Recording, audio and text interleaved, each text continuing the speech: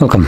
In front of me is a Samsung Galaxy Z Flip 4 and today I will show you how we can copy contacts from a SIM card to the phone.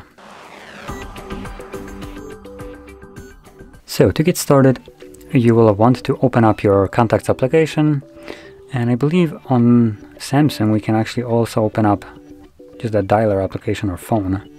Let's test it out. So we're going to go into contacts, three dots and then manage contacts, import or export contacts, import, select where you want to import them from. I have a couple options. So we have SIM card right here and phone or cloud storage.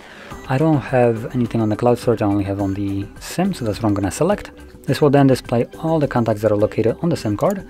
So from here, you can just tap on the contact that you want to import. You can also tap right over here to quickly select all of them. Deselect maybe contacts that you don't want out of all of them. Click on done. It asks you where you want to import your contacts to. Now for me, it only shows phone, but if I were logged into Google account or Samsung account, those would also be visible right here. So I could, select them instead of the phone, but I do want to co copy them to the phone anyway, so I'm gonna click on the phone select import. Okay, and that's it. Contacts have been now imported. And when we go back, we should be able to, there we go, see them right in our list. And this is how you would import your contacts to the Z Flip 4.